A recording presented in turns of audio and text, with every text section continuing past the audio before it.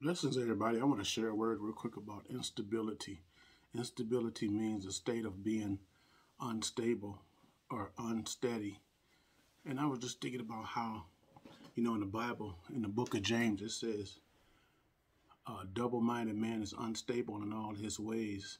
But what I really want to get at is, you know, us that are um, people of God know what the devil, the devil's um, tactics and his schemes are. Like the Bible says, we are, are not unaware of the devil's schemes and his uh, devices.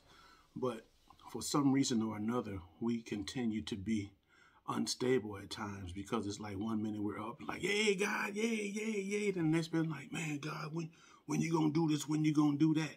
But the thing about it is, once you get a level of stability and can, to continue to have that mindset of knowing that God is not a man that he shall lie, or and he's the same today and yesterday as as any other day. You know, once you recognize that, we should, you know, be um, confident in that. You know, like the Bible says, God has given us everything pertaining to life and godliness, but yet and still, we still allow the enemy to not only um, roar in our lives, but you know, take precedence in our life by whispering in our ears and, and having us thinking contradictory to the word of God and have us thinking um, contradictory to what God has already done in our lives or what he still has yet to do.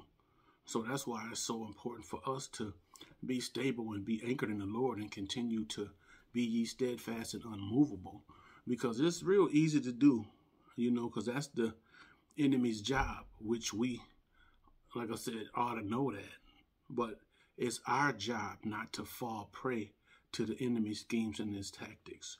So that's why we can't be or operate in a level of instability because it really takes a toll on our lives, you know, spiritually and naturally when we allow the enemy to play with our minds and to uh, whisper you know, things in our ears. Oh, God ain't gonna do this. You know, where where he at right now in that situation? Why he ain't come rescue over there? No, it's the simple fact that God is teaching us how to trust him even more. And that's when God is really working the most when you think he's working the least.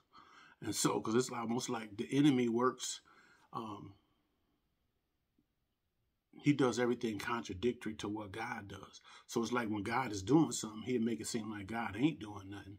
And so when God is working things out in us and, and causing us to get a lesson, he'll make you think that um God ain't doing nothing.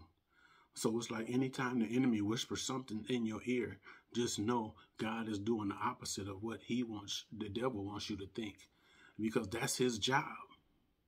And so once we get that in our thick skulls, you know, it will cause us to, to continue to walk uprightly before God and man.